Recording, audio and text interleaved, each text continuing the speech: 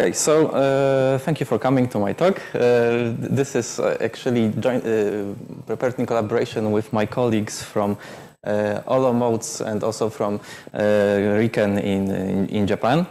Um, well, maybe I should talk to the microphone. Sorry, I will not turn my head maybe to the slide. I will just stand here. Okay, and uh, mm, what actually we are doing now, we are combining topics uh, that are, uh, okay, I have slight technical problem. That should, this should be better. Yes. So, so we are actually now combining topics that, that were developed for quite some time, uh, like here in I, I, will, I, I, will just skip skip this using this because I am not familiar with this device and I have very little time. Uh, sorry. Okay, so the timeline is actually of, of, physical research is perfectly known. We have quantum mechanics and we have also machine learning. And we are at the place in time and space where actually these two meet. And uh, this is quite interesting time, uh, and this is a really nice place to talk about uh, about this topic because, as you know, Professor Ingarden wrote some time ago a paper that is one of the pioneering papers on uh, on uh, quantum theory and uh, information theory. So this is actually to give you some context that from 2013, basically we have huge, um, let's say, uh, spiking interest in machine learning, and now we are uh, combining the fields of uh, computer science and um, machine learning. Okay, so as you already know, probably on from Monday's lecture, Professor Matuszewski told about you about like reducing energy consumption related cl to classical machine learning. Okay, but we want to include quantum information in the picture. Okay, so we already know that classical machine learning has many applications. So we we use it actually to every day, especially if you uh, like a technology geek. Okay, so route selection, Google Maps, uh, Facebook, uh, some uh, friend tagging suggestions, estimated arrival and, uh, and uh, personalization in Uber, and so on and so on. There are many applications, and the main questions that people are, are, now trying to answer in the field of uh, like uh, quantum machine learning, that is a new field that's called like that, uh, is can we do machine learning better with quantum physics or can we do actually quantum physics better with machine learning? Okay, so there are two uh, two ways actually to, to approach the project, and uh, there's also a need for new typology in this because um, okay, what does it mean that we are doing quantum machine learning? Okay, we can do uh, uh, apply machine learning to quantum to data generated by quantum systems, or we can actually feed classical data to quantum systems and uh, ask what they think about this. Okay, so the, these are those QC and CQ approaches that I listed here. These, these, uh, these are the main two uh, areas that uh, I'm going to address in my talk. Uh, I'm also working some, uh, on the two other cases, but uh, this is a work in progress. And actually, what is machine learning? Machine learning is basically building a predictive model and implicitly programming the model so that it actually can tell you something about the data that it didn't see before. Okay, so uh, if you have, for example, uh, two uh, types of points. This is called supervised machine learning because they're labeled. Uh, labeled. And you want to uh, somehow guess, okay, if I put another point on the, on the board, where would it go, to this class or to the other class? So uh, there are two main approaches that people use to uh, address this problem. And uh, one is to use uh, artificial neural networks. These are very popular. You heard about them on Monday. And uh, the other is actually uh, more like uh, industry grounded because it's it's very uh, it's uh, it has its advantages uh, and it's support vector machines. Okay, the problem with support vector machines is that actually they are very good, but for linearly separable sets. Okay, that is that if you have two, uh, two uh, types of data and you just draw a line to separate them, that's perfect. You can so solve this problem without uh, um, uh much problem with support vector machines. But if you have uh, this curvy, uh, let's say, boundary here, you need something nonlinear. And to go there, there's something that we called we call kernel kernel methods. Okay, so you just map uh, some features from from this uh, picture to uh, to a new picture. Okay, so there is some map that takes you from this coordinate set of x1 and x2 to new coordinates where this is actually linearly separable but at the expense actually of introducing uh, more dimensions. So you just start with a small space and you, move to the larger space and you hopefully will find a hyperplane that will separate your points. And this is uh, uh this can be done quite efficiently, and this is also a very attractive approach for quantum computing. Why? Uh, because we can very easily produce large spaces in Hilbert space, okay, I mean, large states in Hilbert space, but we, this is very hard to manipulate them, to mm, make them to interact coherently for a long time. So that's why it's difficult to make practical quantum artificial neural networks, but it's, it might be easier to focus on this kernel-based approach. Okay, so uh, one idea to actually just just like a toy example to to to, to map uh, one-dimensional problem to a quantum state is to just encode it in a phase, for example. Okay, uh, and the kernel that I call something that I call the kernel is given by this kappa x x prime. Okay, and this boundary here can be expressed. Uh, just this is my last sentence on this slide actually can be expressed by this uh, uh, f uh, star function that can be found really efficiently on a classical computer. You just need to know the values of, of the of the kernel for two points. Uh, to be efficiently able to calculate this. Okay, so what we did in our research, we actually uh, took uh, some uh, points labeled like with this blue or red color, and uh, we introduced some feature map, and we wanted to check if we can do this, uh, we can classify the po new points uh, uh good with this uh, kind of approach. Uh, and we also made some theoretical research on this. Okay, it turns out that actually, if you take some feature maps that you can find in the literature, that, that is, you take some quantum states that if you take an inner product of them, you will get some expression. You can obtain the same expression in many ways. And actually, the, the people uh, involved in, this, they use often this kind of expression because it's simple, but it's not very efficient. If you can see here, the number of qubits actually, uh, this is uh, this number of qubits that you need, where uh, this capital D is the dimension. So we are two-dimensional space for most of the time. So we use two, just for education purposes. And n is the power here in this cosine kernel uh, n, okay? So you can see that if you have like one qubit, this is quite broad uh, uh, kernel. If it's uh, getting narrower, then you need uh, to use more qubits. But this can be exponentially uh, enhanced by using smarter uh, decompositions, or, or, or, if you like to call it, um, different feature maps. Okay. So this is what we studied for some time, and we found that we can optimize this and um, you can introduce many kernels. Uh, we also tested some ideas that you know from quantum optics, like uh, truncated, uh, let's say, uh, squeezed states or um, uh, or other types of states. And it turns out that uh, well, we have quite a huge freedom here. So I will not maybe go into details, but if you want, you can check our papers.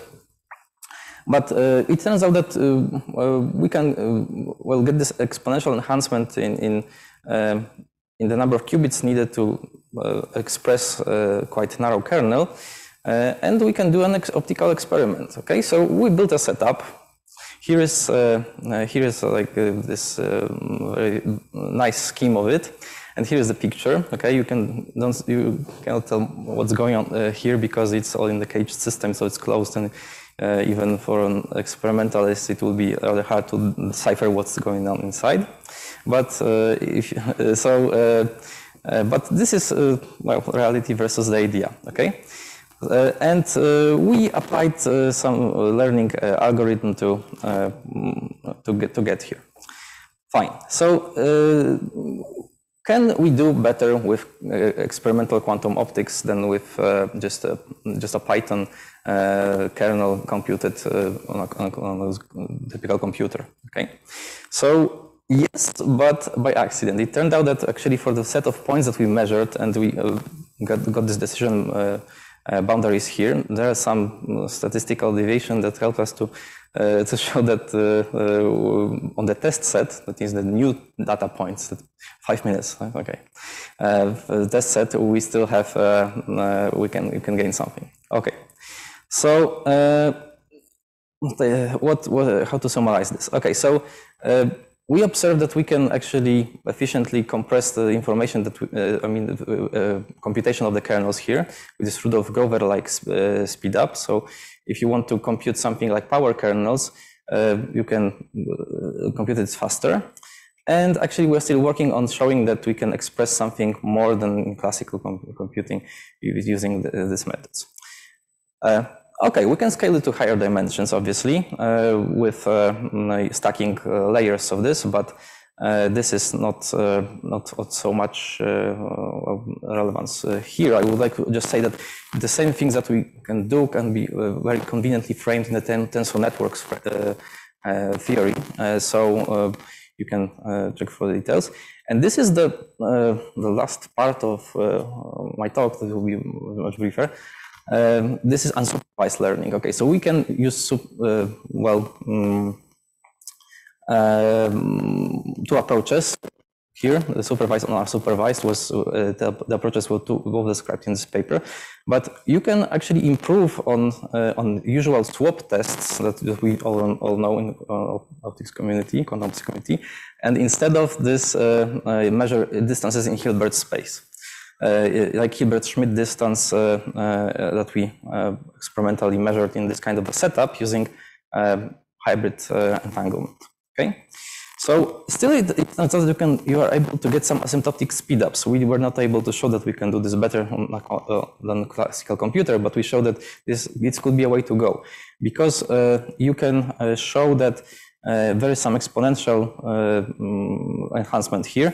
And also you can compress some information into a quantum state using dissipative engineering. Well, the results were quite, quite good because uh, there was not much error. And uh, we also tested uh, how much this error affects uh, proper class, I mean, clustering if we know how would, it would be clustered without um, any, any errors. Okay. So uh, maybe just a few words, literally, on uh, how to go from QC to uh, uh from CQ to QC uh, machine learning. Okay, so obviously uh, we can also use some other ideas for machine learning, like optimal control for, for quantum setups. But we can also do something like we can apply machine learning to physical research. Okay, and what does it mean? It means that, for example, if you have a quantum router and you want to know if there is entanglement or, I mean, uh, not router, but this is a relay, uh, and you want to know if it's, there is an entanglement or not, you can use many approaches. For example, like you can uh, just perform here a single projection of this beam splitter, and here some local uh, measurements.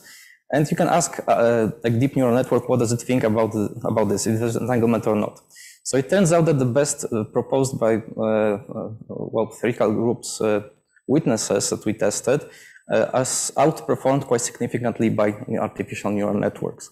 So uh, we, there's still a place for improvement uh, in our research if we uh, maybe feed some neural networks with it, especially if the problem is very complex.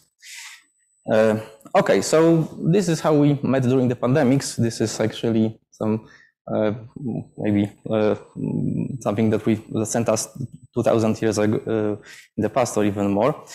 And uh, this, these are the conclusions from, from our presentation. So thank you so much for your attention. Yeah, thanks a lot for, for this inspiring talk. So we have now time for questions. Uh, Pavel, I guess. Uh, sorry for. Do you hear me? Yes, yes I can hear you. Okay. So um, sorry, but I kind of missed this uh, protocol actually, because you have this in this machine learning with this kernel when you when mm-hmm. you when you encode. Yes. So how it looks step by step, it is like you have this two possibilities, right? Or two shapes, whatever whatever they are. Mm-hmm. And how, how how then you go? Because you have to repeat measurements, right? Uh, right. So, so this is uh, the point. Uh, the thing is that you basically take uh, two points, okay, any two points that are in the training set, uh, and uh, you compute like kernels, kernel values between the points. So you have something like uh, power of two uh, uh, of the, the points in the data set uh, computations that you have to perform in your, in your setup, and then you can express everything in terms of, of, of these values. Okay, and this is the, when this is this can be efficiently solved uh, uh, with some linear specialized linear solvers or with very dumb uh, order of three uh, programs. Okay, And this is classical part of the This is- protocol. yes, right? exactly. But I think Pavel asked what then you do then with your photons. Exactly. So what, what, what with your photon, with my photons? Okay, so, so we just we just count the photons. Okay, so But how do you prepare the Prepare. state? yes? Okay. Because I think that there is some encoding there is encoding and encoding. Yes, uh, uh, yes. I, classical picture to S- this s- s- photon. sorry, I, I was I, I was- just uh, uh, this is so obvious to me that I didn't get it. I'm sorry. I'm really sorry for such a... well, it's it's, it's, it's Pavel- my problem. Pavel is here to you know to keep you this, down is- this is this is my problem. Okay, uh, thank you for asking this question. Okay, so we encode the parameters in angles here. Okay, and the angles are introduced by uh, wave plates. Okay, so here in this uh, part of the setup, we we encode information by just choosing proper uh, angles of uh, for, for rotations on uh, polarization. Okay. So there are two photons with two polarizations, and this is this two two axes on your classical picture Uh, where you plot these dots. Yes, yes. So, so actually, the the, the axes are, are uh, here. So this is x1, and there is two photon is x2, and uh, this is uh, this axis one and x x2 is mapped to the angles in front of uh, this uh, uh, main qubit state. This is like this uh, polarization and dual rail encoding. So top, bottom, uh, vertical, horizontal. Okay. So this is. Okay. And then you make a, say, swap test, right? Uh, well, it's This overlap thing, right? Uh, well, we, we first you have to uh, like um, um, if you want to. It depends. Okay, so uh, if you want to compute kernel each time, like, like in this form, this is your data point, and this is some value that you invented. So the value that that you uh, that, that you invented, you encode in the angles on on, on these plates. Right. Okay. So here is your initial quantum information, and here is the point in your, uh, let's say, um, feature map spa- uh, space where you want to go and to check what's the value. Okay, so this is, uh, uh, so, so we can select the, the, the angles here to correspond to another point from the um, training set, or we can actually choose an, uh, an arbitrary point in, in space. Okay, so this is how we actually got, the, uh, uh, maybe not this, but because- this is simulation, uh, this is based on experimental data, uh, and, and these plots. Okay, so this is, uh, Right. Aha. So you, you have to repeat it many times, right? Because Yes. you have to, you have to yeah, so just kind of cover, cover the, the, Mhm. exactly. So, so we, we uh, measured about uh, 800 uh, mm, data points. Okay, so this is uh, how, how we got uh, the pictures. Thank you. Thank you. Okay, so we are getting it, I think. So, uh, other questions?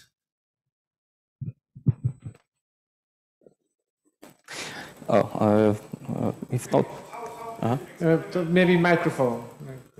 uh-huh. How long the experiment uh, lasts typically? Uh, okay, uh, uh, this is actually, I'm not sure, uh, it's, it's not on a visible slide, but I, I have many slides on this, and I, I can actually uh, tell you that, uh, um, okay, um, great. So, uh, this is like, like 10 seconds per one photon pair. Okay, uh, so this is this is quite a long time. Why is that? This is because uh, we use motorized uh, polarization rota- rotators, and this is about the time that uh, this is the order of time that it takes to ch- ch- uh, change it for a, for a new point. So this is uh, so this is the limitation. Okay, so 10 second, and uh, we uh, for uh, like uh, seven uh, for for thousand uh, let's say points.